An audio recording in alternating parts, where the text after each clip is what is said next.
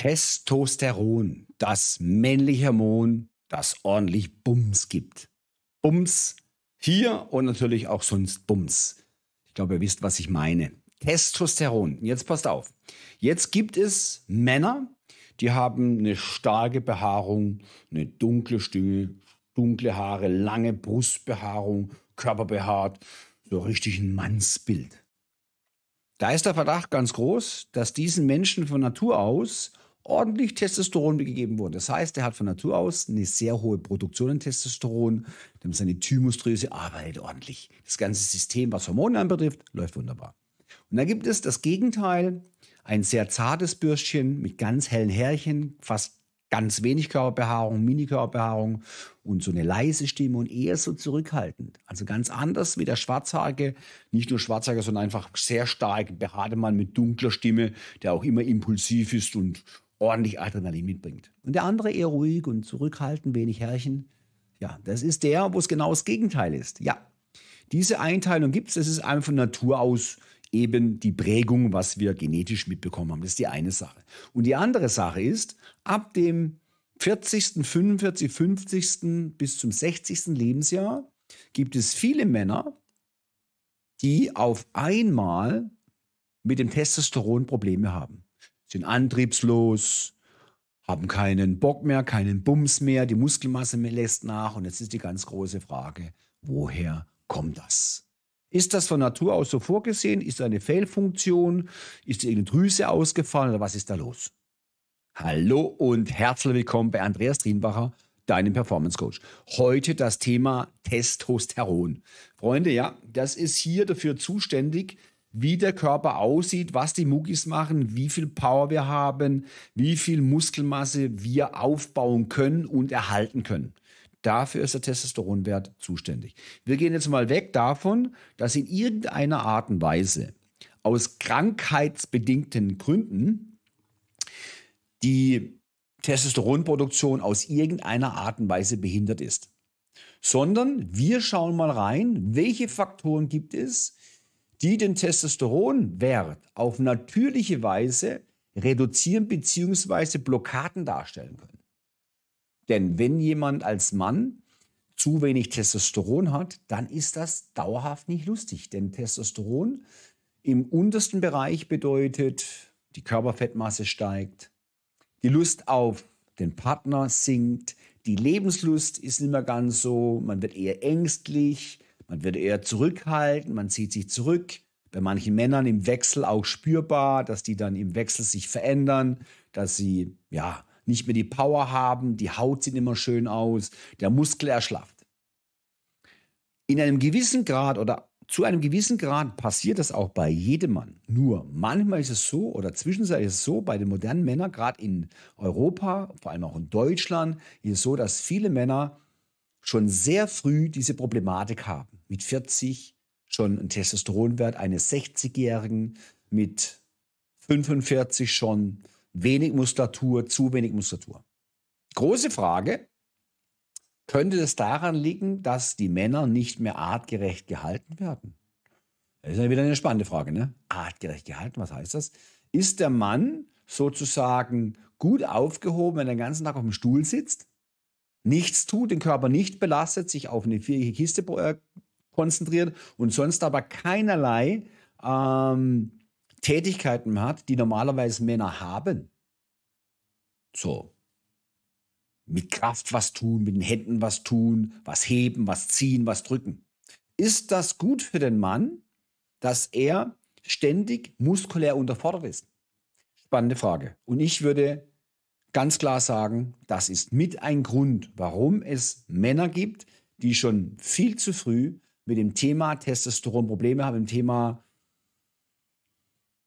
Kraft, Power, Energie, Lust auf den Partner, Lust auf Sex, drücken wir es in klaren deutschen Worten aus, die haben damit Probleme.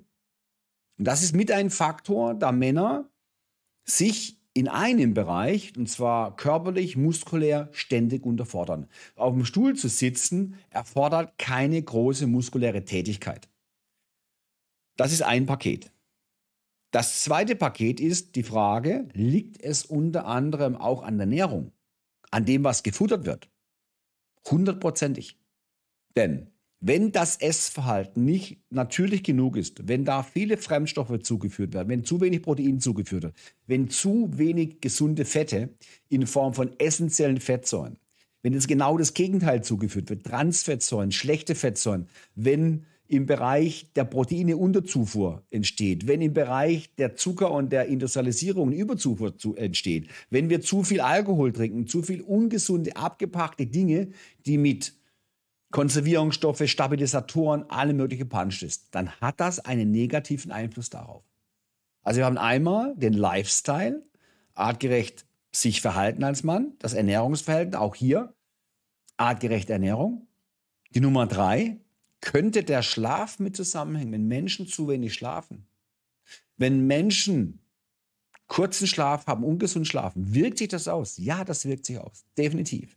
Denn im Nach kann der Körper sich detoxen, der Geist auch. Und wenn das nicht mehr stattfindet durch einen schlechten Schlaf, dann ist das auch eine negative Beeinflussung. Beziehungsweise fragt euch mal selber, wenn man richtig müde ist, ständig erschöpft ist, hat man da Bock auf Sex? Nein, hat man nicht. Nur weil man müde ist. Das ist nicht die einzigste, der einzige Grund, sondern auch natürlich die Hormonsekretion bleibt, um, bleibt stehen, beziehungsweise behindert.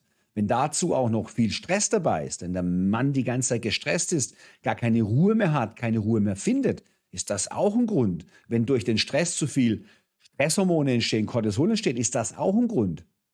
Das ist ein komplettes Paket, was man hier spüren kann, wo man sagen kann, ja, das können Auslöser sein. Das, die können mitverantwortlich sein, dass gewisse Dinge nicht mehr funktionieren. Und jetzt sagt ihr natürlich, super, Andreas, schön, dass wir das wissen. Aber bitte, erklär uns doch mal, was können wir dafür tun? Ja, das ist relativ einfach. In der Theorie. In der Praxis tun wir uns sehr schwer. Denn das Erste, was wir machen sollten, das Allerwichtigste ist mal darauf achten, was führen wir eigentlich an Futter zu? Was essen wir? Und umso ungesünder, umso unnatürlicher das Essen ist, was wir essen, umso bescheidener haben wir Rohstoffe, die dafür helfen, dass der Körper überhaupt diese Hormone produzieren kann. Wenn wir nicht genügend Protein haben, wenn wir nicht genügend gesunde Fette haben, haben wir ein Problem, weil der Rohstoff nicht dafür da ist. Mist.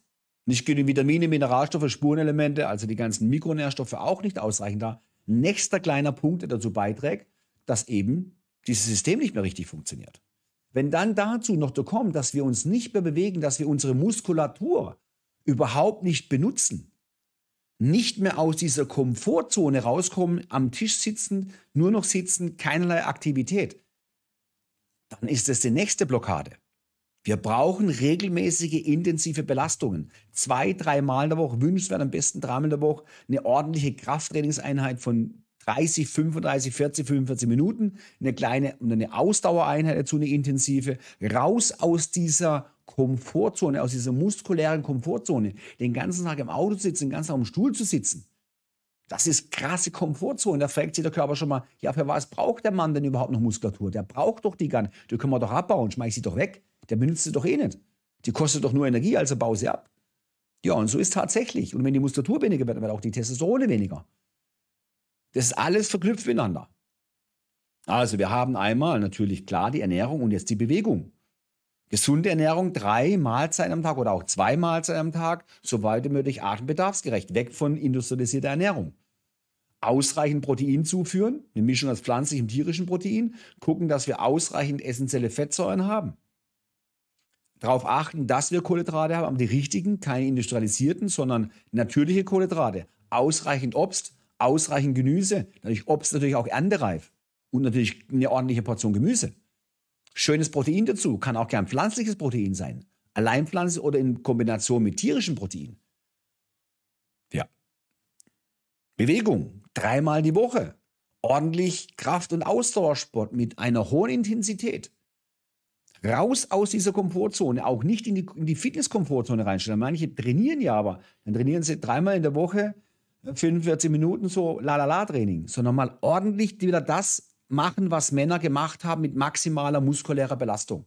Sorgt dafür, dass der Körper sagt, hey, der benutzt das Zeug hier. Der benutzt die Muskulatur. Die müssen wir erhalten. Also damit, damit wir sie erhalten, brauchen wir auch wieder Hormone und Testosterone und alles drum und dran, Wachstumshormone. Dazu. Nächstes, der Schlaf. Ja, auch der Schlaf. Regelmäßig zu ähnlichen Zeiten ins Bett gehen. Freunde, fünf, sechs Stunden Schlaf sind zu wenig, damit der Körper und der Geist sich komplett regenerieren kann. Zumindest bei 98 Prozent aller Menschen. Es gibt ganz wenige, die mit so wenig Schlaf auskommen. Die meisten brauchen viel mehr Schlaf. So, man weiß heute, dass die meisten unter einem Social Jetlag leiden. Die meisten Menschen schlafen eine Stunde, 1,5 Stunden zu wenig.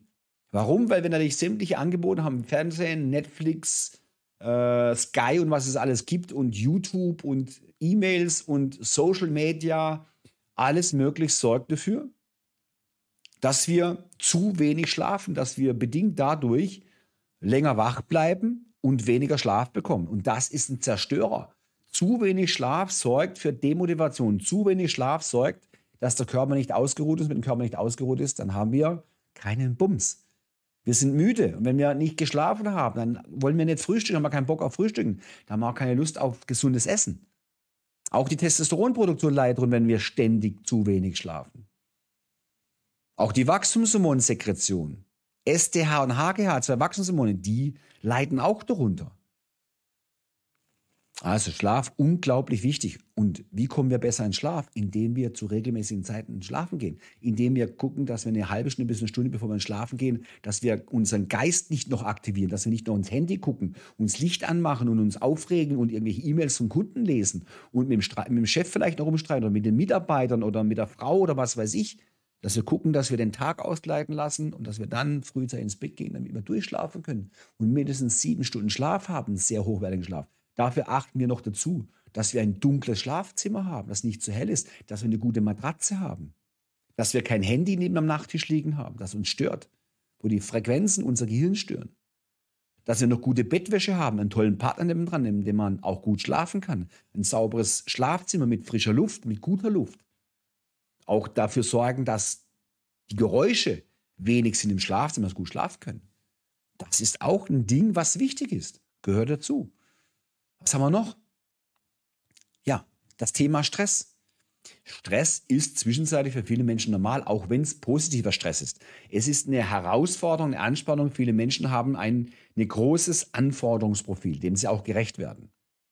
Somit ist ständig Alarm in unserem Kopf, ständig Kontrollgedanken, ständig Veränderungen, die, wir, die angepasst werden müssen. Der Geist kommt nicht zur Ruhe. Der Stresspegel kann ziemlich hoch sein bei vielen Menschen, der Cortisolwert, der Stresshormonwert immer leicht erhöht, weil die Nebennierenrinde ständig reagiert. So, und auch das führt dazu, wenn ständig Cortisol da ist, ständig der Stresshormon zu, Wert, zu hoch ist, dann leidet das Testosteron drunter. Auch hier können wir eine Veränderung herbeirufen. Wie weit? Schlaf hilft zu entstressen. Freizeitgestaltung, um mal was anderes zu machen, wie ständig nur arbeiten, sondern auch mal dafür sorgen, dass wir draußen spazieren gehen in der frischen Luft, dass wir Sonne bekommen dass wir draußen Outdoor-Sport machen. Ja, das sind auch Dinge zu beitragen.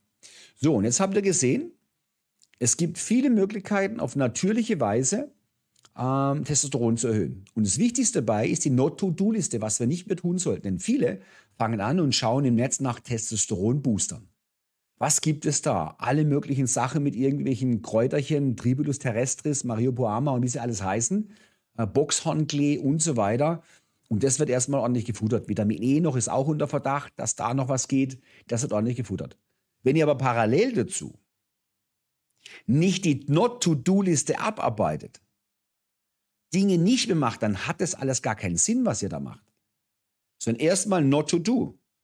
Darauf achten, dass wir nicht mehr zu wenig schlafen, darauf achten, dass wir uns nicht mit irgendwelchen Müll die ganze Zeit reinstecken, darauf achten, dass wir eben nicht nur auf dem Stuhl sitzen, darauf achten, dass wir gut schlafen, all diese Faktoren erstmal berücksichtigen. Wenn die berücksichtigt sind, dann können wir darüber reden, was es noch dem Markt noch alles gibt, um auf natürliche Weise den Testosteronspiegel anzuheben. Da gibt es ein paar Sachen. Da gibt es ein paar Sachen, die können unterstützen, nützen aber nur dann was, wenn wir die Dinge, die wir nicht tun sollten, abstellen. Ansonsten wird es nicht funktionieren. So, Freunde, das war das Thema Testosteron erhöhen, auf natürliche Weise und dazu erstmal die Not-to-Do-Liste nutzen natürlich. Und wenn die Not-to-Do-Liste durch ist, dann kommt demnächst was zum Thema Testosteron. Wie können wir das optimieren? Was müssen wir achten dabei? Mit so ein paar Kräuterextrakte wie Tribulus terrestris zum Beispiel, Boxhornklee. Da gibt es noch so ein paar Sachen. Aber Freunde, die werde ich jetzt nicht verraten. Nein. Jetzt macht ihr erstmal, arbeitet jetzt erstmal bitte die, die Not-to-Do-Liste ab, was ihr nicht tun solltet. Wenn ihr die habt, dann meldet euch bitte. Dann meldet euch, sagt Andreas, ich habe sie abgearbeitet. Die Not-to-Do-Liste ist durch, ich habe die Dinge berücksichtigt, was du gesagt hast. Ich schlafe wieder wesentlich besser, plus sieben Stunden. Ich mache in der Woche dreimal 45 Minuten mindestens Kraftsport. Ich mache dreimal in der Woche noch 15 bis 20 Minuten Ausdauersport. Das Ganze außerhalb der Komfortzone. Ich habe auch darauf geachtet, dass ich meinen Stress reduziere, indem ich Stress kompensiere, indem ich auch mal draußen spazieren gehe, die frische Luft nutze, in die Sonne gehe, Outdoor ein bisschen Sport machen. Ich habe mein Schlafzimmer verbessert, weil ich kann viel besser schlafen. Ich habe ein Vorschlafritual, dass ich eben das Handy eine Stunde vorher ausmache, dass ich mich aufs Schlafen vorbereite. Ich ernähre mich wieder viel besser. Ich achte auf mehr Proteine, ich achte auf gesündere Fette, ich esse weniger Industrieschrott. Ich trinke fast keinen Alkohol mehr. Zigaretten habe ich sowieso weggeschmissen. Jo, und wenn das alles gemacht ist, dann melde dich und sag, jetzt bin ich bereit, endlich bin ich bereit für die Information zum Thema Naturalextrakte aus der Natur, die meinen Testosteronwert erhöhen können. So, ihr Lieben, das war's. Und wenn du jetzt sagst, Andreas, so lange habe ich keine Lust zu warten. Ich brauche direkt jemanden, der mich unterstützt. Ich brauche direkt jemanden, der mich in die Hand nimmt und mir zeigt, wie es funktioniert. Mir den Weg zeigt, wie man das Ganze in den Griff kriegt. Wie soll ich mich genau ernähren? Welchen Sport soll ich machen? Wie komme ich in die Ruhephase, Endstressen? Wie schaffe ich es besser schlafen? Welche Tipps hast du? Wie kannst du mir helfen? Wenn du da jetzt an diesem Punkt bist, dann ist es für dich relativ einfach. Und zwar gehst du jetzt unten in die Bemerkung, in die Show Notes und da findest du meine Page andreas-trienbacher.com. Und da gehst du jetzt rein und vereinbarst deinen ersten unverbindlichen Beratungstermin mit einem meiner Mitarbeiter. Und der hört sich alles an, was du vorhast, wo deine Herausforderungen liegen. Und wenn das alles passt und wir sagen, wir haben ein gutes Match, dann haben wir in Kürze unser erstes unverbindliches Beratungsgespräch, wo ich mir das anhöre, was du vorhast und ich dir ganz klar zeige, eine Strategie, wie kannst du schaffen, innerhalb von kurzer Zeit in diesen neuen Level zu kommen, auf diesen neuen Level, den neuen Lifestyle zu verankern, sodass du ausreichend Testosteron hast, dass du leistungsfähig ohne Ende bist, dass du Dynamik hast ohne Ende, dass dieses Thema müde, dieses Thema keine Power, dieses Thema ich bin schlapp, der Vergangenheit angehört. Das ist unsere Arbeit. So, und jetzt bist du dran. Einmal unten eintragen, Termin vereinbaren und dann sehen wir uns in Kürze. Bis dahin wünsche ich dir bei allem, was du tust, super viel Erfolg, ganz viel Gesundheit und ich freue mich, in Kürze was von dir zu hören. Mach's gut, bis bald. Hier war dein Performance Coach Andreas Drienbacher.